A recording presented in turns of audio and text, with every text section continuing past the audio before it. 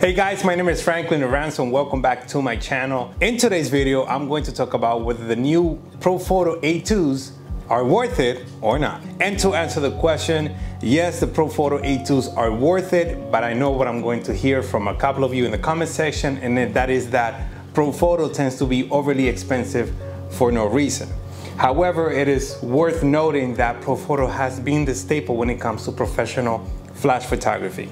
That being said, at the beginning of my career, I knew that I wanted to be a full-time professional photographer, so I went straight into investing into gear that I knew was going to last me a long time and that was with Profoto. So my first unit was the Profoto B1 and it required no cables whatsoever. So to me, that was a no-brainer. Then eventually they released the B10s, then followed by the A1X then the C1 Plus, which I've also talked about in this channel. And then most recently they released this flash, which is the A2. Now the A2 compared to the A1X, I believe has an additional 25 or 20 more watt seconds of power.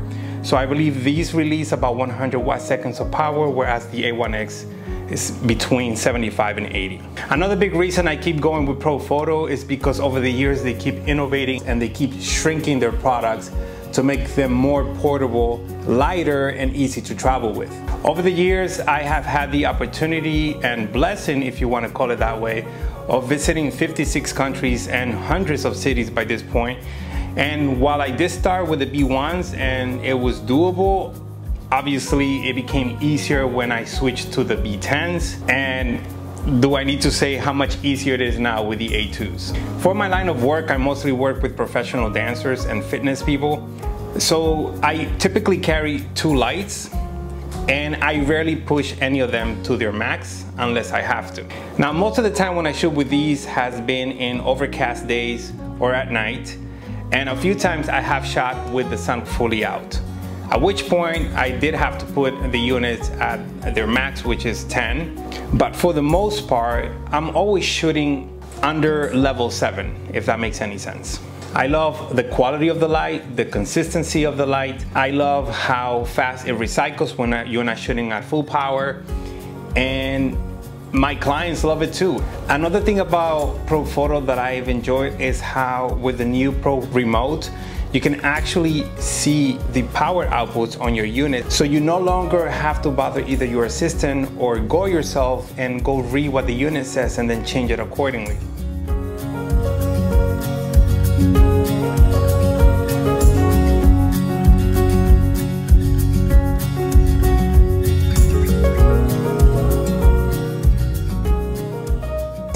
I know a lot of people have an issue with Profoto because they are overly expensive.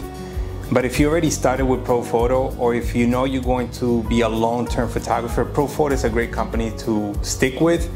Their products are reliable, they're something you can trust, you know they're going to work, and you know that the color consistency is always going to be there. Whereas with other brands that I have tried personally, while they are great for beginners, I wouldn't say that they're great for a long-term commitment in the photography field because I've noticed that sometimes they misfire and the color accuracy is, is very inconsistent. But now let's talk about some of my favorite shots that I've taken with the Profoto A2s. And that's one on a recent trip that I went to Tokyo and I photographed a professional dance couple literally in the middle of the streets and I used one of them all the way in the back with a purple gel and I put that at max power. And then I used another one at around power 6.5 or 7 with a silver coated umbrella, uh, which was a lot closer to them. And I was just blown away with how the photo came out.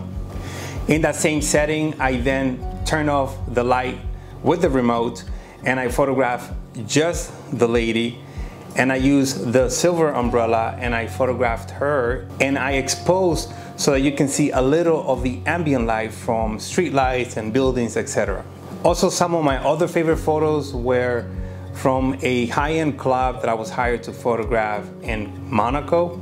Uh, the club is called Jimmy's and I was hired to photograph the talent who were dressed in a very fancy way and they liked it so much that they want me to go back actually. Another one was right here in New York City with one of my friends and students and we shot her when the sun was completely behind her and I used one of the A2s at max power with a silver coated umbrella.